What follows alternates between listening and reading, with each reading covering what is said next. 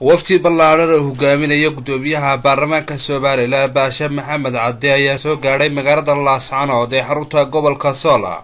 Waxaana ku soo dhoweeyey qasriga madaxtooyada somalilan ee ku yaalla magaalada laascanood mayarka degmada laascanood iyo guddoomiyaha gobolka soola. Safarka guddoomiyaha baarlamaanka somalilan ayaa daaran xaalada nabadgeliyey magaalada laascanood iyo xaalada colaadeed ee ka soo cusboolaatay deegaanka tukaraq ee gobolka soola ee u dhexaysa somalilan iyo puntland. Waftigan ballaadhan ee hogaaminayo guddoomiyaha golaha wakiilada jamhuuriyadda somalilan baashe maxamed faarax ee ka mid yihiin xildhibaanada maxamed jaan cabdi iyo siciid maxamed cilmi. Waxaan leenahay ku soo dhowaada magaalada laascanood saakina soo gaadheen oo bishu tahay guddoomiye magaaladu waa nabadgelyo wax dhibi ma jiraan xaaladdu waa iska fiican tahay. Waxaa jiiddaad ka maqasheenna kolley waan iska waraysan doonnaa haddii lahayd mo. Bismi illahi raxmaan raxiim alxamdulilah xamdan kasiiran dayiba baarna fiihi ilahay baa mahad iska leh. Maanta way tahay bishii lix iyo toban bishii mey labada kun iyo sideed tobanka. Waxaanu ku sugannahay caasimaddii gobolka sool ee laascaanood xaruntii madaxtooyada ee gobolka sool. Waxaana soo gaadhay wafdi ballaadhan oo hogaaminayo guddoomiyaha baarlamaanka jamhuuriyadda somalilan baashe maxamed faarax ayna ka mid yihiin xildhibaan saciid xaaji iyo maxamed jaamac iyo xogeyntii guddoomiyaha.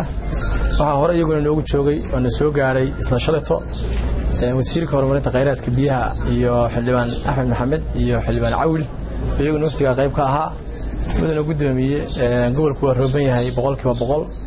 Meel abaarina maanta ma jirto alxamdulilahi rabbilcaalamiin ilaahay mahadsi weeye waxa uun saaka waagu noogu baryay nabadgelyo.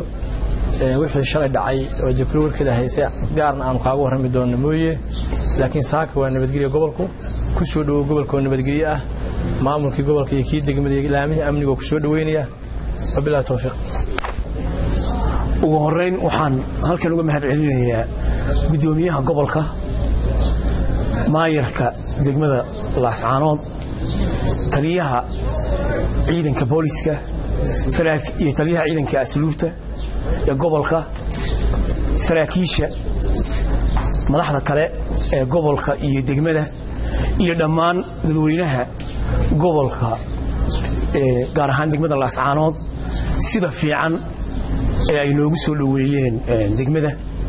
Haddaan taa ka gudbo wafdigan uu hogaaminayo guddoomiye baashe maxamed faarax guddoomiyaha golaha wakiilada jamhuuriyadda somalilan kuna yimi talada guud ahaan xubnaha wafdiga iyo tilmaanta madaxweyne madaxweynaha jamhuuriyadda somalilan muuse biixi wafdigani waxay u socdaan hawl gaar ah oo muddo socon doonta oo ay si gaara uga qaban doonaan arrimaha amniga horumarinta arrimaha bulshada iyo dhammaan waxyaalaha dareenka leh ee ka taagan gobolka.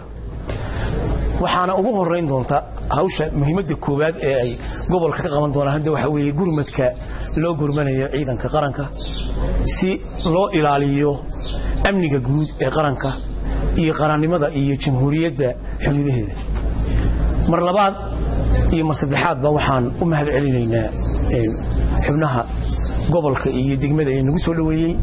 Wafdigani wuxuu ka kooban yahay labiyo toban xubnood. Saddex wasiir guddoomiyaha golaha wakiilada oo wafdiga guddoomiye u ah iyo siddeed xildhibaan oo ka kala tirsan afar golaha guurtida ah iyo afar ah golaha wakiilada. Dhammaantayo muddo dheer ayaannu halkan ku sugnaan doonnaa. Wixii hawl ah ee gobolka taalla iyo degmadana waxbaanu ka qaban doonnaa. Wixii iswaraysi iyo war dambe ahna